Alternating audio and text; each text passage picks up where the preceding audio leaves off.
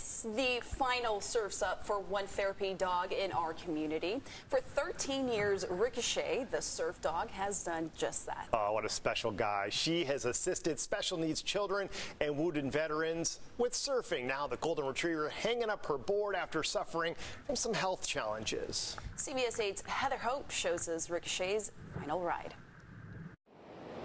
It became a full circle moment in the water for surfing dog Ricochet and triple amputee and Army veteran Jose Martinez, who ended up assisting Ricochet this time for what could be her very last surf.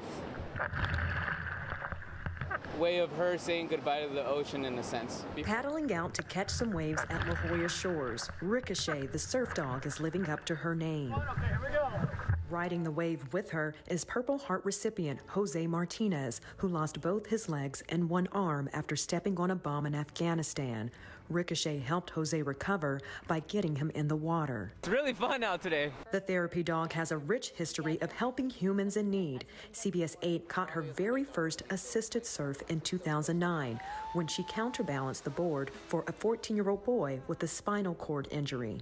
Being the first dog that ever surfed with somebody that was disabled to assist them is pretty much her legacy. Now, as the surf dog gets up there in age, she's slowing down. She's getting a lot older now, and unfortunately, she hasn't been wanting to surf a lot more like she used to. Ricochet was recently diagnosed with kidney disease, has a mass on her liver, and arthritis in her spine.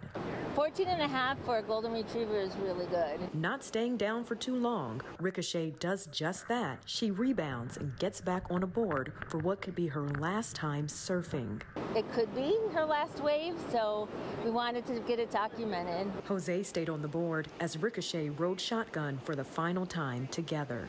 I was pretty much told that I would be in a wheelchair for the rest of my life, and for me to be able to help out the dog that helped me kickstart my surfing career, my surfing life, I, it's just as if I'm filling her cup up as much as she filled mine up. Heather Hope, CBS 8.